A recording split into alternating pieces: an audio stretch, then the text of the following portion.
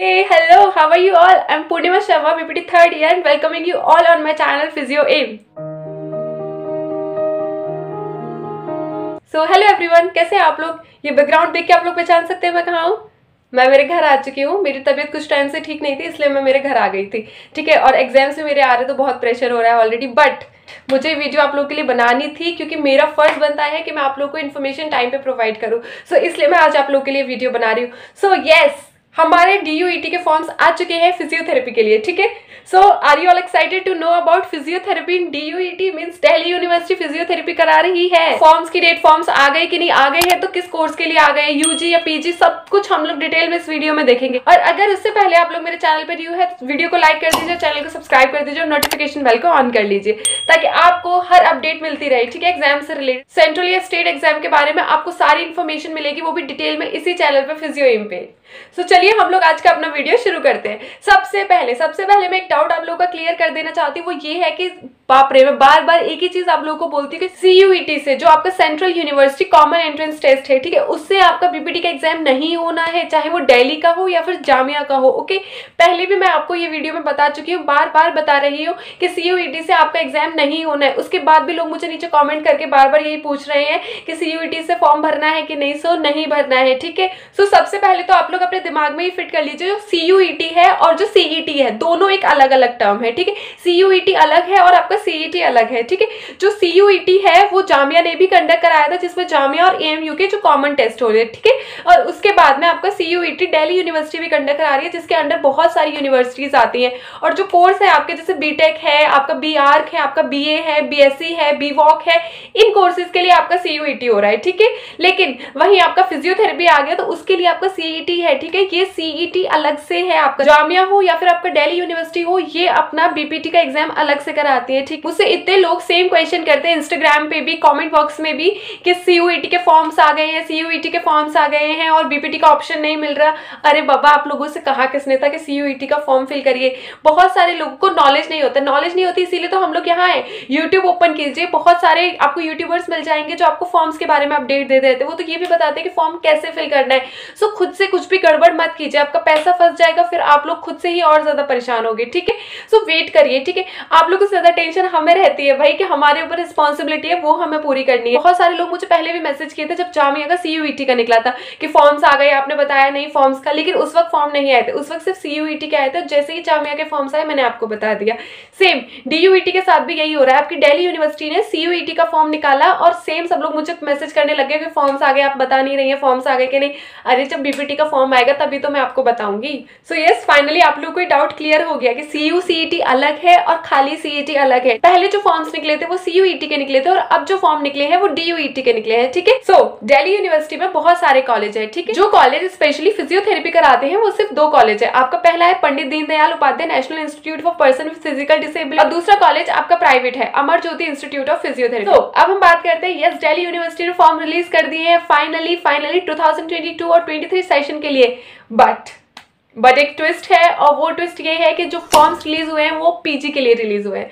अभी फ़िलहाल पीजी के लिए है, लेकिन कुछ टाइम बाद मे बी मे के लास्ट में शायद आपको देखने को मिल जाएँगे यूजी के भी फॉर्म्स सो घबराइएगा नहीं कि सी यू सी का फॉर्म फिल मत करने लगना। प्लीज़ बाबा फिल मत करना उसका फॉर्म वरना आप लोग मुझे नीचे कॉमेंट बॉक्स में पूछते कि हमें तो मिल ही नहीं रहा। हमें तो ऑप्शन ही शो नहीं हो रहा, आप क्या करें? ठीक है? सो ऐसा नहीं है। सो फाइनली पीजी के लिए फॉर्म्स निकल आए हैं, ठीक है? लेकिन आपका अमर ज्योति इंस्टीट्यूट में ही सिर्फ़ एमपीटी अवेलेबल है और आपका पंडित दीनदयाल उपाध्याय इंस्टीट्यूट में अवेलेबल नहीं है। अब हम लोग इस वीडियो में डिटेल में देखेंगे कि जो अमर ज्योति इंस्टीट्यूट है, उसमें फिजियोथेरेपी में कितनी सीट्स है, कौन से ब्रांच में अवेलेबल है सिलेबस क्या है क्वेश्चन कितने आ रहे ठीक है? सब कुछ हम लोग डिटेल में इस वीडियो में देखेंगे। सो अगेन मैं आप लोगों से रिक्वेस्ट करती हूँ कि अब तक अगर वीडियो को लाइक नहीं किया है तो एक लाइक कर दीजिए और चैनल को जल्दी से सब्सक्राइब कर लीजिए। सो चलिए हम लोग वीडियो स्टार्ट करते हैं। सबसे पहले तो मैं आप लोगों को बताऊँगी कि आपको फॉर्म कहाँ मिलेगा, ठीक है? आपको फॉर्म कहाँ भरना है? या तो आप डेली यूनिवर्सिटी की मेन जो ऑफिशियल साइट है, वहाँ से जाके फिल कर सकते हैं, या फिर Amar Jyoti institute of physiotherapy है, इसकी साइट पे आप जाएँगे और आपको मिल जाएगा, ठीक है? जब आप अमर ज्योति इंस्टीट्यूट की ऑफिशियल साइट पे जाएँगे तो वहाँ पे आपको नीचे लिखा हुआ दिख रहा होगा बड़ा बड़ा लिखा हुआ दिख रहा होगा एमपीटी एडमिशन ओपन ठीक है? और जब आप उस पर क्लिक करेंगे तो आपको ये पेज दिखाई देगा और लास्ट में आपको थर्ड नंबर पे दिखाई दे रहा होगा रजिस्ट्रेशन येलो बॉक्स के अंदर जो है, ठीक है?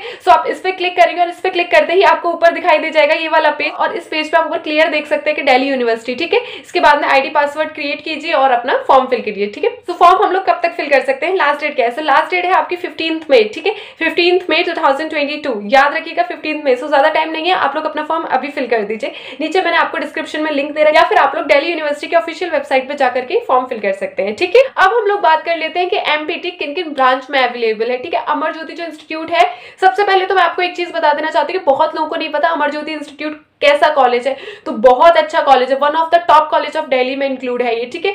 एकेडमिक्स वाइज बहुत अच्छा है, आपका फैकल्टी वाइज बहुत अच्छा है प्रैक्टिकल वाइज बहुत अच्छा है पेशेंट काउंट भी अच्छा है, ठीक है? सो ओवरऑल कॉलेज बहुत अच्छा है और कॉलेज का फ़ीस भी बहुत कम है। जैसे जो अदर प्राइवेट इंस्टीट्यूट है, उनका क्या डेढ़ लाख, दो लाख चला जाता है तो इतना महँगा फ़ीस नहीं इवन एक लाख भी फ़ीस नहीं, आपको उससे कम का पड़ेगा इसका फ़ीस और फ़ीस हम लोग आगे देखेंगे फ़ीस कितना है, ठीक है? उससे पहले मैं आपको बता देती हूँ कि कौन कौन से ब्रांच के लिए अवेलेबल है, ठीक है?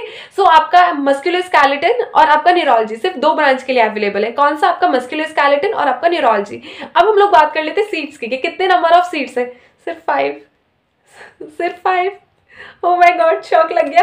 नो no, शॉक लगने वाली कोई बात नहीं है इसमें। सिर्फ़ फाइव सीट्स के लिए अवेलेबल है। फाइव आपका हो गया मस्कुलर स्केलेटन के लिए और फाइव आपका अलग से है न्यूरोलॉजी के लिए। ठीक है तो टोटल सीट हो गए ten five for each branch okay आपका न्यूरोलॉजी और मस्कुलर स्केलेटन के लिए। नेक्स्ट हम लोग बात करते हैं कैटेगरी वाइज कितनी सीट्स है। अगर मस्कुलर स्केलेटन की बात करते हैं तो जर्नल में थ्री सीट्स है। ओबीसी में आपकी वन सीट है। एससी में आपकी वन सीट है और आपकी एस में ज़ीरो सीट्स है। ठीक है उसके बाद हम लोग बात करते हैं न्यूरोलॉजी न्यूरोलॉजी में आपकी जर्नल में टू सीट्स है और आपकी ओबीसी में भी टू सीट्स है ठीक है? और उसके बाद में एससी में आपका ज़ीरो है और एस में आपकी वन सीट है। आई होप आपको सीट का काउंट क्लियर हो गया होगा कि कैटेगरी वाइज किस तरीके से सीट काउंट है। अब हम लोग बात करते हैं क्वेश्चन की, ठीक है? कितने नंबर ऑफ़ क्वेश्चन आने वाले सो हंड्रेड क्वेश्चन आने वाले कितने? हंड्रेड क्वेश्चन आने वाले और कितने मार्क्स के होने वाले फोर हंड्रेड मार्क्स का आपका ही पेपर होने वाला है, ठीक है? मतलब कि एक सही क्वेश्चन के लिए आपको चार नंबर मिलेंगे और अगर आपका क्वेश्चन गलत होता है तो माइनस वन ठीक है? नेगेटिव मार्किंग है सो बहुत अच्छे से अपना पेपर दीजिएगा, ठीक है?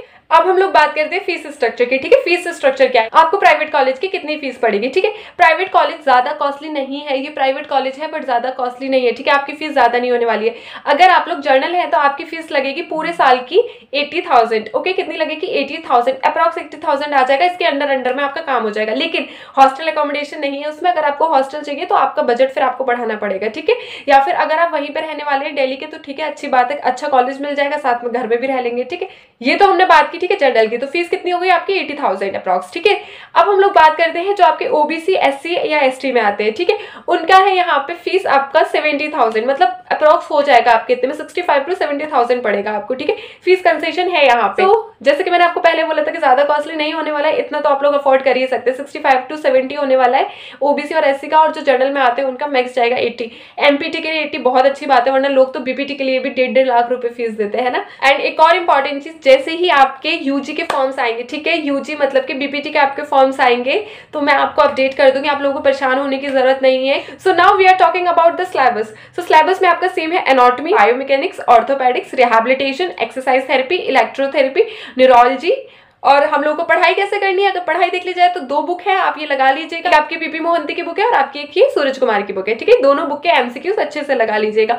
और इसके साथ साथ अगर आप लोग अभी फ़र्स्ट ईयर स्टूडेंट है और आप लोग को अभी से एमपीटी का प्रिपरेशन करना है और आप मेरी ये वीडियो देख रहे हैं तो साथ के साथ जब आप एनाटॉमी पढ़े तो उसकी रिव्यू बुक लगा दे जाइए, ठीक है? और अगर आप लोग अभी फाइनल ईयर में आप लोग मेरी ये वीडियो देख रहे हैं कि आप एमपीटी कहाँ कहाँ से कर सकते हो तो मैं आपको बता देती हूँ कि आप लोग पास बहुत टाइम है अभी और आप अभी रिव्यू बुक लगाना स्टार्ट कर दे, ठीक है? एनाटॉमी की है, आपके ऑर्थोपेडिक्स की, आपको एक्सरसाइज में मिल जाएगी। आप इनके एमसीक्यूज लगाइए, ठीक है? जितना भर भर के एमसीक्यूज लगाएँगे, उतना ज़्यादा आप लोगों के लिए अच्छा होगा।